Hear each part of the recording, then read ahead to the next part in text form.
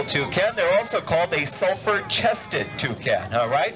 Now, toucans, they are only found in one place in the world. They are only found in the jungles of Central and South America. They're really concentrated in one region in South America called the Amazon. It's a real place, not just a website. Did you guys know that? I've got a couple of boxes waiting for me when I get back today in my front door. All right, I'm excited. So yeah, she comes from the Amazon. Now, because she lives in the same habitat as a parrot, many people assume the two birds are related. No, she's in a different bird family altogether. Now, have you guys ever seen the Lion King movies? If you remember the Lion King movies, do you remember the character Zazu? He was called a hornbill. That's like an African version of a toucan. This is the biggest rabbit in the world. He is called the Flemish giant rabbit. He tips the scale at a whopping 18 pounds. He's larger than a few types of dogs that exist in the world today. Now, this is a purebred rabbit. People don't realize rabbits, they come in purebred form, just like dogs and cats do. So they come in just as many sizes and shapes and colors as dogs and cats do, all right? Now, this is the rabbit version of a Great Dane. You've probably heard of a rabbit breed called the Netherland Dwarf. That's the rabbit version of a Chihuahua, okay? So this, I didn't pull him off of my neighbor's lawn on the way here today. This is a very special type of a flamingo. He is called a Chilean flamingo. Where can he be found with a name like that? Chile, Argentina. Yeah, that's where these guys are native to, in the Andes Mountains. Now, this guy, he is a flamingo. Everybody knows that these birds are pink, but not everybody knows how they get to be this color. It has to do with his diet. What does he eat? Shout it out. Shrimp. Because what color are shrimp?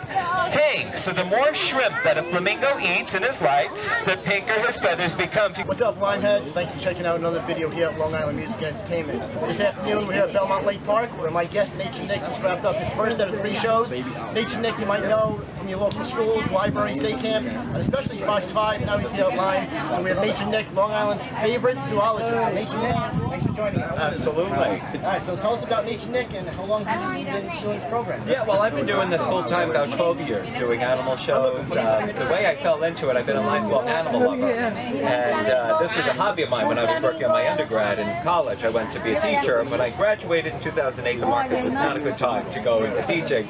So I started pursuing this full time and slowly but surely learned how to get licensed with Fish and Game, DEC we call it in New York, USDA, and one permit led to another animal and another animal, and now it is what it is now. Uh, Nature Nick brought a bunch of his friends with us, so we're going to get right into things. Um, which animal do you want to show us first? Sure. Well, if you want to do just a pan, right here we have, this is the only uh, traveling flamingo in the United States. That's Fabio. There's no other mobile animal show, bird show, uh, in the United States that has a flamingo, so that's rather unique. We're very happy to have him.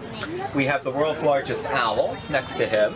We have a giant Eurasian eagle owl. That's the largest owl in the world. They're native to Russia and Siberia.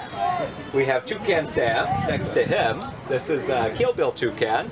You don't see toucans uh, often anymore in bird shows or pet stores, so we like using her. I have a baby version of that big owl you just saw. This is a uh, this is a seven-week-old eagle owl. So he's going to be the understudy for the owl you just saw. And behind him, a very unique bird. That's called the giant blue-crowned pigeon from Papua New Guinea. And uh, they are actually the closest relative of the dodo bird, the closest surviving relative. So that's as close as you'll get to seeing an extinct bird. And then in front of those guys, we have, uh, I have a milk snake, I have the world's largest rabbit, the 18-pound rabbit that everybody is giving a lot, lot of love to today. And then on the very end there, you got a close-up of the little owl and that. That's not a baby owl. That's one of the smallest owls in the world. That's a tawny owl. And they're native to England and Ireland. That's uh, They were frequently featured in the Harry Potter books. There was more mention of tawny owls than any other Oh owl. yeah, I watched her. So that's pretty much it in a nutshell. I think that's everyone we brought. Now, now you deal with a lot of animals on a daily basis. What's your favorite animal? You know, my, as I've been doing this, my favorite uh, animals are now a lot of the birds of prey. They're very easy to work with. They're just naturally suited to traveling. They'll sit on a perch, they'll perch on a glove. They're okay being on a perch during the day for hours and hours because that's what they're doing in the wild. Now you mentioned that you house all the animals on eastern, eastern Long Island, but during the winter months you go down to Florida, bring all the animals with you. Correct. Yeah, what we have, we have, uh, I have a big, uh, uh, big van you see behind me, my truck, and then we tow an RV, and we pack all the animals in, and we go down down, and we do it in a straight shot. We're, we're some of those crazy people that go and do it in uh, 24 hours straight and drive there for 20 hours, and then the animals all have outdoor pens, so we get there. So it's a good reward for them for dealing with that trip. So we do that twice a year. We go down and we come back up. Right, now how do people book your shows? Are you on social media, website? Go ahead, plug away. Yeah, the easiest thing is naturenick.com. That, that'll give you a homepage. There's a link to my Facebook there. So naturenick.com or you Google Nature Nick, everything about me will pop up from there. All right, now you have, um, which is very interesting. You have you wrote a book about all your adventures Yes, on all yeah. animals. So, So uh, this is just a little autobiographical thing I put out about five or six years ago. Different stories, things that have happened to me in my career working with animals. So different animals I've had. I've had lions, tigers. I've had little bugs. I've had everything in between that. So a lot of fun stories, a lot of calamities in this. So you can actually get this on Amazon. Once again, we're here at Belmont Lake Park. Nature Nick, social media, nick.com. It's a very good show. Uh, all these exotic animals, and for checking out another video here. Long Island Music and Entertainment.